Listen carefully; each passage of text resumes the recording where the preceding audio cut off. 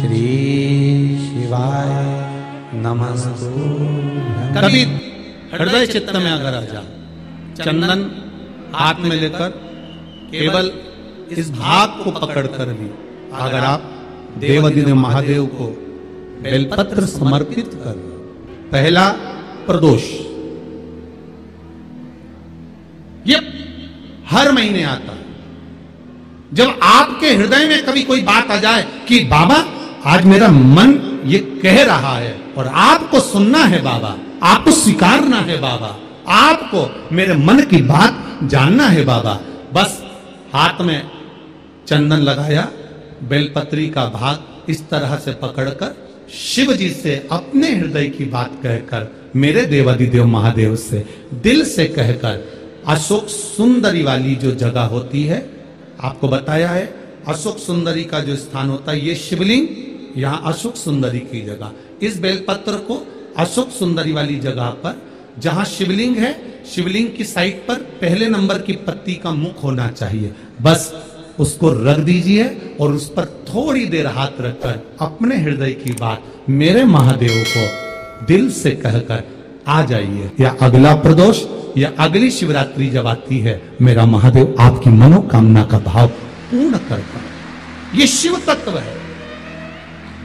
इसको ओघड़ी कहते हैं ओघड़ी वो हृदय चित्त को धारण करने वाला आनंद को समाहित करने वाला। कि शंकर की भक्ति का रसस्वादन अपने जीवन में करिए। एक बात उतार कर रखिए अपने जीवन में। जब भी, भी कोई विषम समस्या अगर आकर खड़ी हो जाए और वो कार्य हो ही बेलपत्री का वृक्ष जिसकी जड़ में जाकर बेलपत्री का जो पेड़ होता है, बेलपत्री के वृक्ष की जड़ में महाराज जल समर्पित कर कर एक बेलपत्री उस जड़ के ऊपर रख कर कच्चा दूध सात बार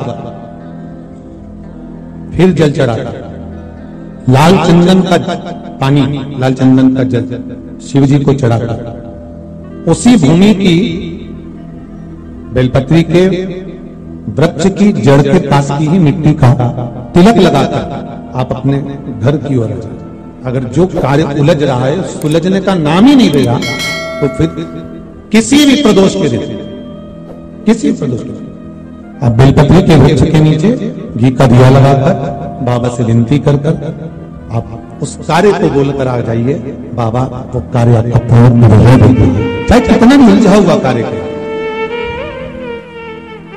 धतूरा।